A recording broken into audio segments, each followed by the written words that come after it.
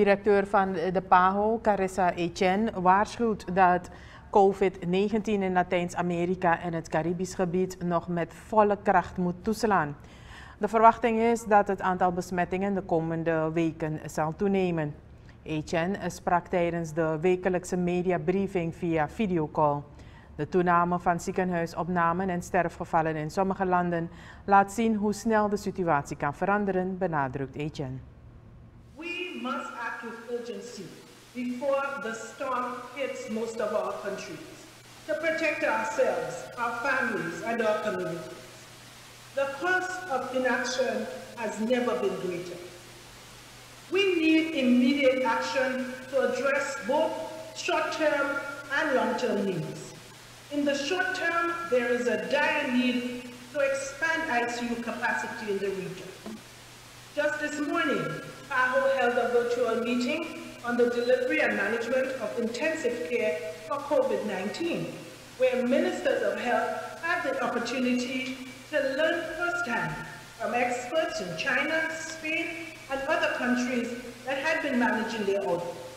We are building on our Iberoamerican network to support the COVID-19 response in the region, and we will continue to do so.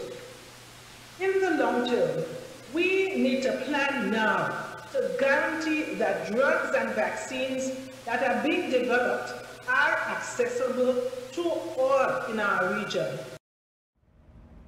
De PAHO-directeur zegt dat het in acht nemen van de sociale afstand de beste manier is om de verspreiding van het virus tegen te gaan.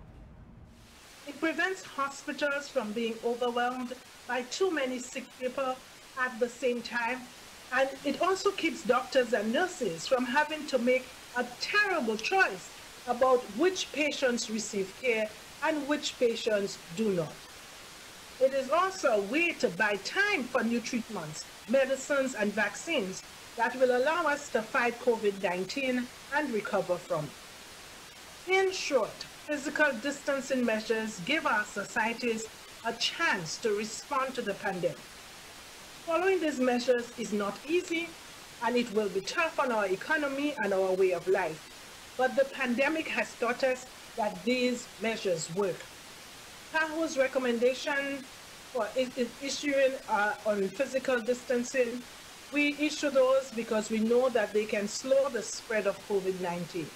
And those recommendations are aligned with those that were recently released by WHO. And we are working with ministries of health to help them implement these at country level. Carissa Etienne, zij is directeur van de PAHO. Zij gaf gisteren aan dat het COVID-19-virus in de regio nog hard zal toeslaan.